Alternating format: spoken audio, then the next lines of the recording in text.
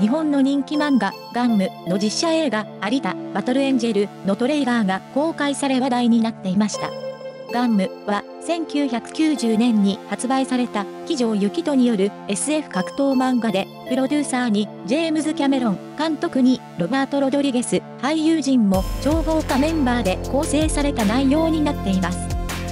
トレーラーは漫画に忠実に再現されたものになっていて、海外からは期待の声が寄せられていました。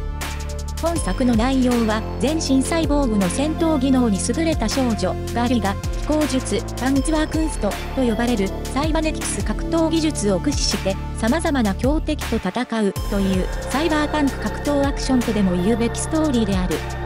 一方で、起動エレベータやナノナシンなどの最先端技術、ハチソン効果、サイコメトリー、ニコラ・テスラのスカラー波兵器などといった怪しげなガジェットも豊富に詰め込まれている。